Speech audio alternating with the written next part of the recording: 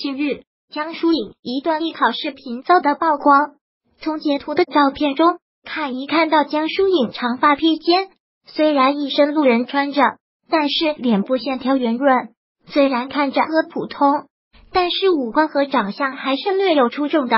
略有显婴儿肥，而且好白呀。素颜出镜的江疏影十分的抢镜，眉声清唱，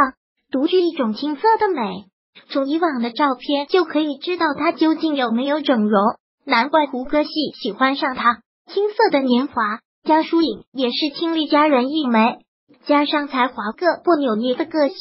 喜欢上她是一件很简单的事。不过，江疏影所在的班级，如今也算是星光熠熠，同班的郑恺、陈赫、